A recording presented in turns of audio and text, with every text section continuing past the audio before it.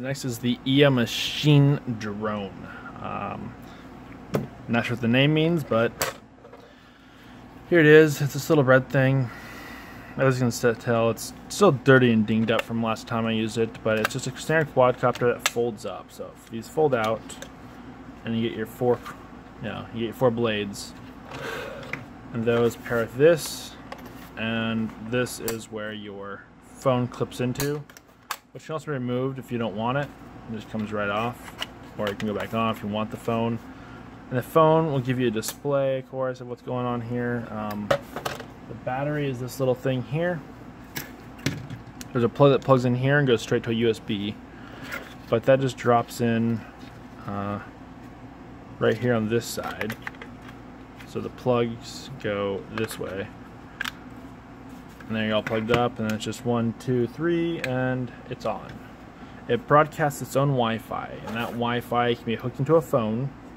And if the phone's hooked to it and open the app, the phone will be controlled. But if you don't hook up the phone and you install, and you just do this instead, this is hooked up, and then you can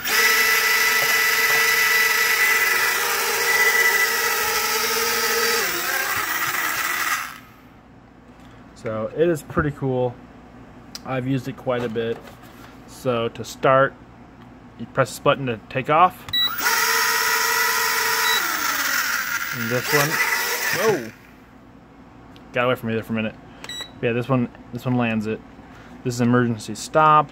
Um, it was this one did tricks. These are the trim settings for up, down, left, right.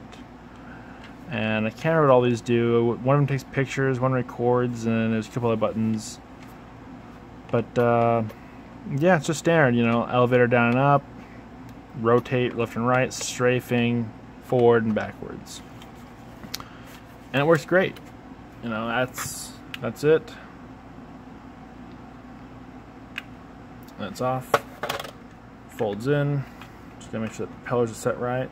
The propellers, you know, these can fold in. And there you go. And now it can be taken and done whatever you want with it. Um, or you can pull out the battery to go charge it. But it's a cool little starter drone. It's not very expensive for a starter drone. Um, little camera on here. Um, no clue what quality you would call it. Uh, doesn't even say on on the box it says HD and it's the E52TX Pocket drone. So Pocket, I think it's because it folds up.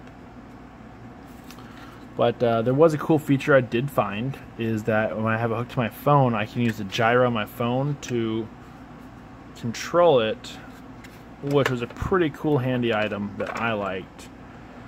This also, instead of using for just the phone to hold, I also use to hold the actual device. And that's the drone. Now, Here's the montage of video from the drone.